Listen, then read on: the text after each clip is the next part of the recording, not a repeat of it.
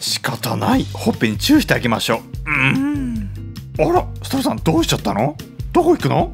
ちょっとスタッフさん。ほっぺにチューが恥ずかしくなっちゃったのかな？さあ玄関までおデートしましょう。チャイをエスコートして。